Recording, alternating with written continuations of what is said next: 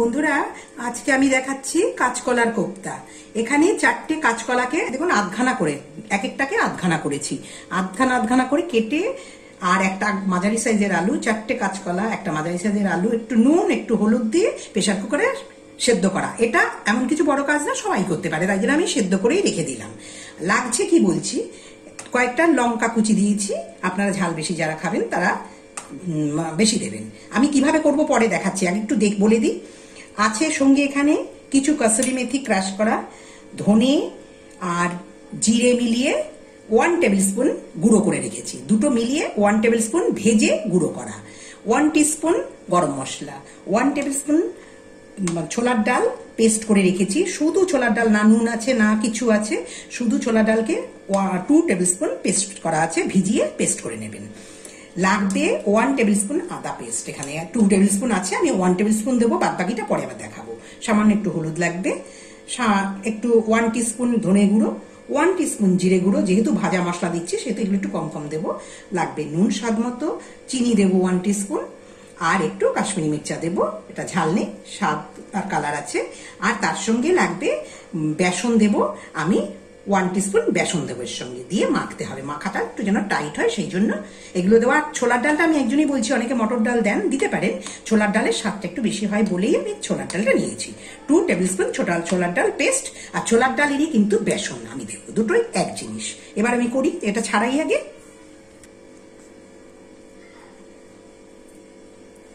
একটা একটা করে ছাড়িয়ে নেওয়া কোনো কাজ নেই। ছাড়িয়ে তারপরে এবার এগুলোকে আমি একটু চটকে মেখে দিচ্ছি একটু ম্যাশ করে নিতে হবে। তারপরে মশলা যা দেওয়ার দিচ্ছি। আগে একটু চটকে নিয়ে এগুলো, আলু, কাঁচকলা সব একসঙ্গে। এখন আমি ওয়ান টেবিল স্পুন আদা দিলাম।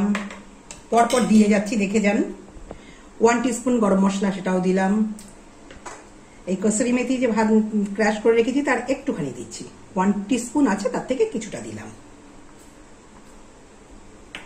ভাজা মশলাটা আমি পুরোটাই দিয়ে দিচ্ছি। টু টেবিল স্পুন ছোলার ডাল পেস্ট দিয়ে দিলাম। সামান্য একটু, একটুখানি হলুদ দিলাম। একটু জিরে গুঁড়ো, একটু ধনে গুঁড়ো, কাশ্মীরি মির্চা একটু বেশি দিলেও ক্ষতি নেই, কারণ ঝাল নেই আমি একটু ঝাল কম দিই। আপনারা ঝাল যারা খাবেন তারা দেবেন। কাশ্মীরি মির্চা কিন্তু আমি একটু দিলাম বেশি। মানে টিস্পুন অনুযায়ী টু টিস্পুন খুব বেশি হলে হবে। একটু স্বাদ মতো নুন, কাঁচা লঙ্কার কুচিটা দিয়ে দিচ্ছি। এবার দেব বেসন একটু। ওয়ান টেবিল স্পুন বেসন দেবো বলেছিলাম। ছোলার ডালের বেসন দিয়ে দিলাম। এবার এটাকে আমি মাখবো, মেখে, ও একটু চিনি দেবো। এতে একটু ওয়ান স্পুন চিনি দেবো বলেছিলাম, দিয়ে দিলাম। এইবার আমি মাখবো এটাকে, ভালো করে মাখতে হবে। মিশিয়ে নিয়ে এবার। হাতে একটু তেল দিয়ে নেবেন। এবার কোপ্তার সাই কেটে তুলে নিয়ে এবার হাতে একটু গোলা করে শেপ গোলও করতে পারেন, আবার চ্যাপটাও করতে পারেন, যেরম ইচ্ছা, তার জন্য কোনো সমস্যা নেই।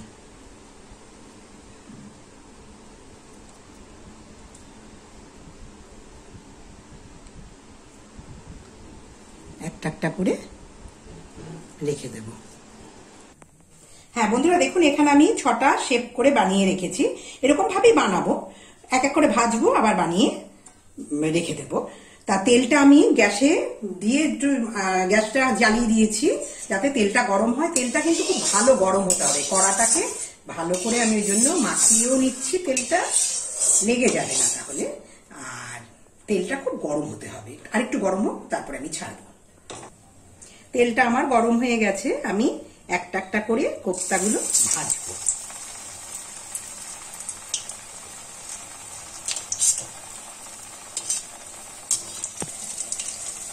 ফ্লেম কখনো কখনো লো করতে হবে, কারণ হাই ফ্লেমে ভাজলে পুড়ে যেতে পারে।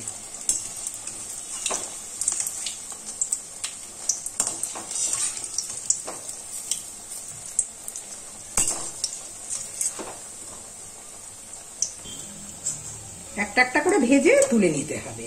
এটাই হলো কাজ এখন অব্দিও। হ্যাঁ দেখুন, কোপ্তা ভাজার তেলটা রয়ে গেছে। এটাকে ফেলবেন না। এর মধ্যেই আমি ফোড়ন দিচ্ছি। ফোড়নে আচ্ছা তার আগে আপনাদের আমরা একটা দেখিয়ে দিই, দেওয়ার আগে কি কি ইনগ্রিডিয়েন্টস আমি নিয়েছি। এদিকে ফোড়নে দেখুন, তেজপাতা, একটা দারচিনি, একটা এলাচ, দুটো লবঙ্গ, দুটো শুকনো লঙ্কা, একটু জিরে, গোটা জিরে। ফোড়ন, আদা one tablespoon one teaspoon garam masala one টিস্পুনের kasuri methi half দিয়েছিলাম কোপ্তা মাখায় আর হাফ রয়েছে গ্রেভিতে। একটু হলুদ লাগবে। ওয়ান টিস্পুন জিরে গুঁড়ো ওয়ান টিস্পুন ধনে গুঁড়ো, একটু কাশ্মীরি মির্চা, স্বাদ মতো বা কালার অনুযায়ী, ঝাল নেই। না, নুন স্বাদ মতো, একটু মিষ্টি লাগবে। সামান্য একটু চিনি দেবো। এইটা আর লাস্টে আমি ঘি একটু দিয়ে দেবো। ঘিটা দেখাচ্ছি আপনাদের। ঘি রয়েছে এই যে, ঘিটা একটু দেবো। এই দিয়ে এবার আমি শুরু করি রান্নাটা। আমি ফোড়নটা ছাড়ছি, তেলটা গরম হয়ে গেছে। প্রথম গোটা গরম মশলাগুলো দিয়ে দিচ্ছি গরম মশলা, এলাচ, দারচিনি, লবঙ্গ। এইবার তেজপাতা দিলাম, দুটো শুকনো লঙ্কা, গোটা জিরে সামান্য এটা ফোড়নে যাচ্ছে আদাটা দিয়ে দিলাম, আর জিরে, ধনে, হলুদ কাঁচাই মিরচা সব। গুঁড়ো মশলাগুলো আমি একসঙ্গে জলে গুলে দিলাম। শুকনো দিলাম না ওগুলো না ভেজে পুড়ে ওঠে অনেক সময়। ওই জন্য পরিমাণের তো কম দিতে হয়, বেশি তো লাগে না। আর একটা জিনিস দিচ্ছি, দেখাচ্ছি, একটা টমেটো পেস্ট করে রেখেছি, সেটাও এর মধ্যেই দেব। দিয়ে দিচ্ছি। কোনো আগে পরে কিছু নেই, একসঙ্গে দিয়ে দিন, একসঙ্গেই বসে যাবে মশলাটা। আচ্ছা আরেকটা জিনিস দেখিয়ে দিচ্ছি।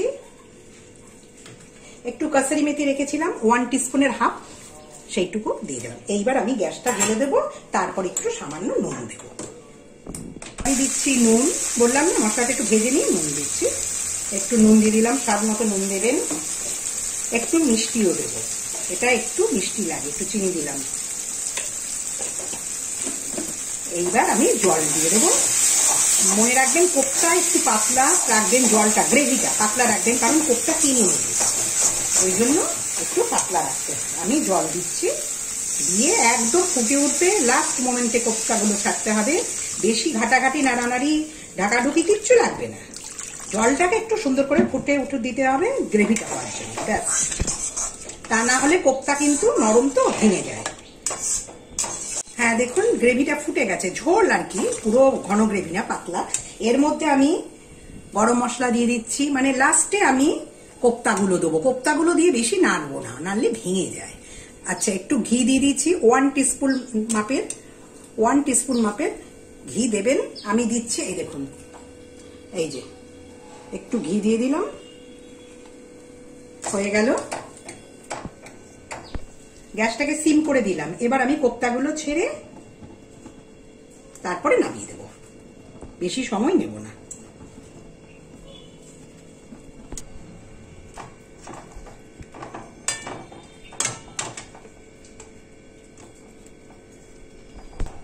হ্যাঁ দেখুন, আমার কিন্তু কাঁচকলার কোপ্তা রেডি একটু এরম ঝোল রাখবেন, কারণ কোপ্তাগুলো কিন্তু এই ঝোলটা টেনে নেবে।